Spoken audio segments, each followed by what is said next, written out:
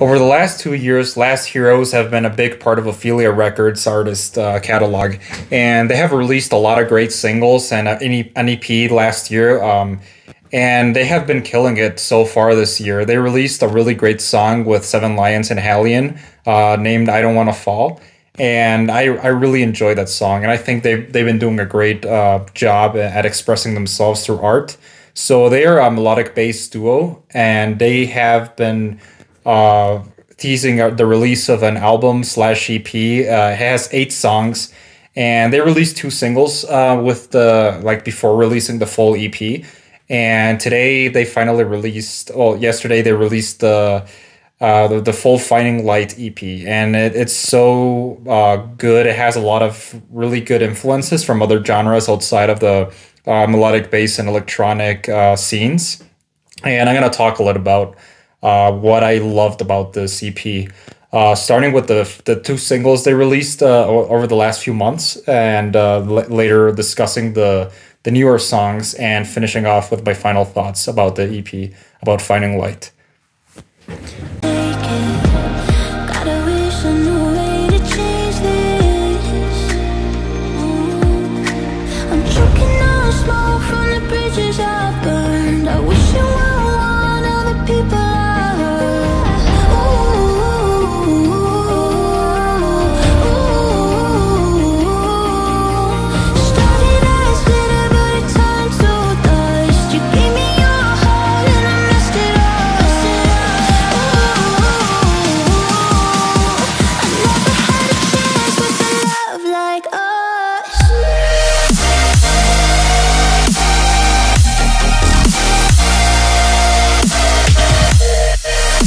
So before the full release, they uh, they released two songs, one with Trove called "Passing Through" and one with RUNN uh, called "Love Like Us." And these two songs are probably my favorite out of the EP.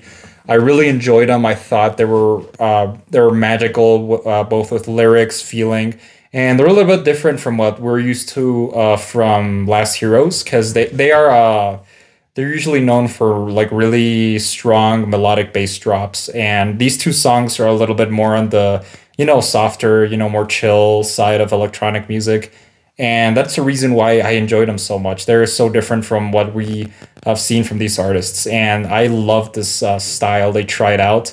I feel like it works really well. Uh, so i'm going to start with love like us this song is uh, so good. It's so chill. Uh, I love RUNN. She I love everything she does.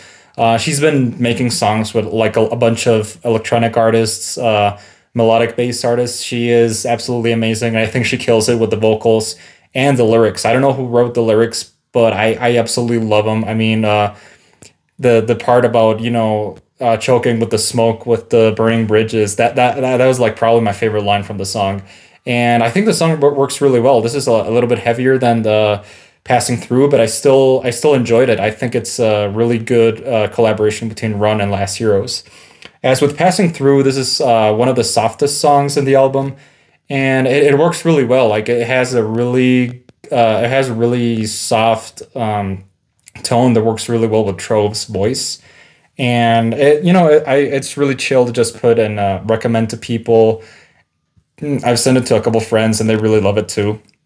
And those were the two singles they released before the full album. And I think, um, you know, listening to the whole thing from beginning to end, like it, I did today, uh, it really like like helps to showcase how like the talent and vision from these two amazing artists.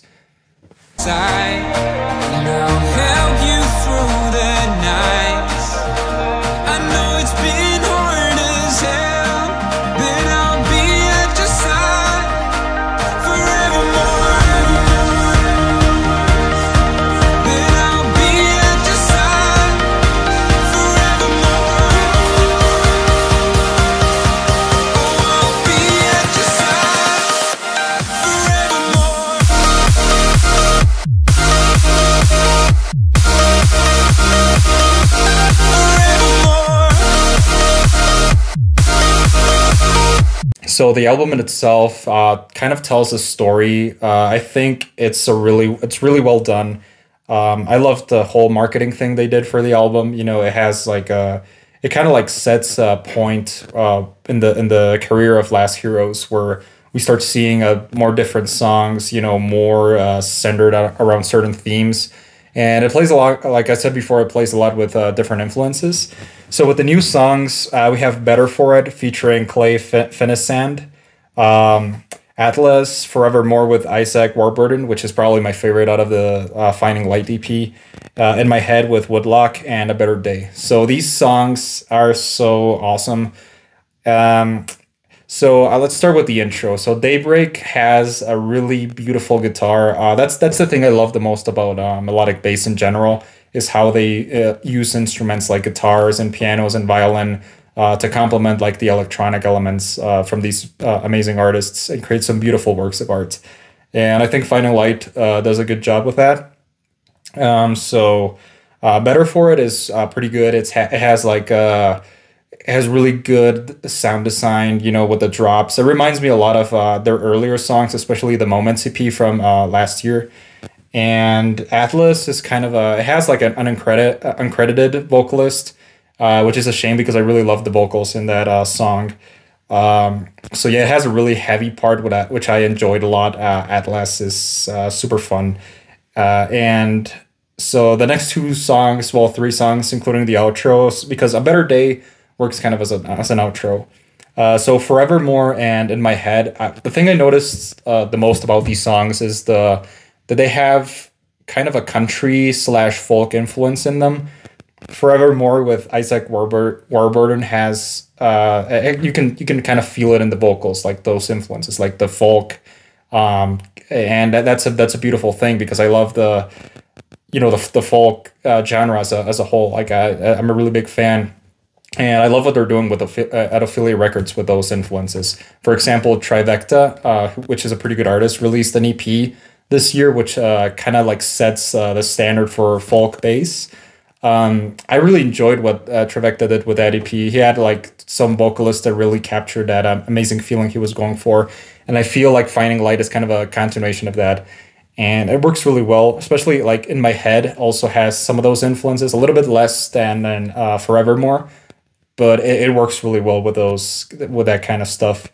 Uh, and it, it all just come kind of wraps up with a better day. A better day is a beautiful kind of outro for the whole EP um, I love kind of I love the songwriting and that that it gets put into these songs without lyrics. Um, it really shows uh, the beauty of music as a whole, and especially like electronic music. And that's kind of like the analysis of all, all the songs in Finding Light.